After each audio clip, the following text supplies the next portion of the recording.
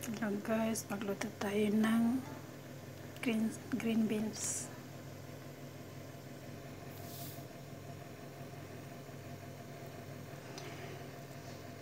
Simple ulam pero healthy. Nakakasawa na yung karne at saka manok.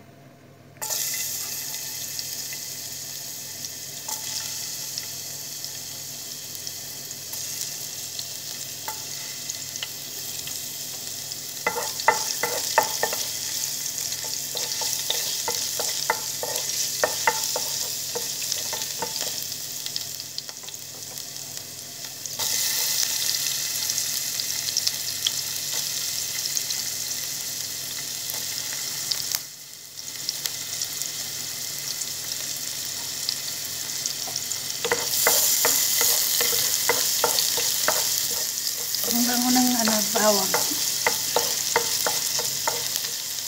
Ayan guys. Ayan, lagyan natin yung kamatis.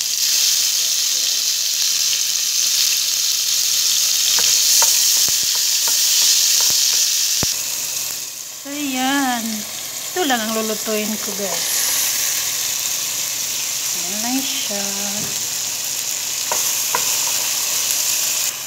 Yan, lagyan natin ng black pepper. Konti lang. Then, konting toyo.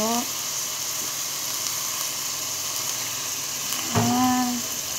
Tapos, konting asin. Ayan.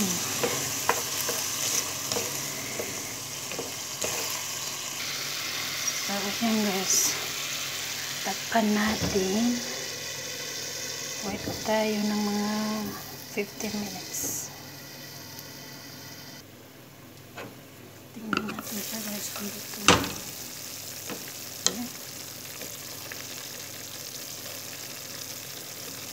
Dito na siya guys. Thank you for watching.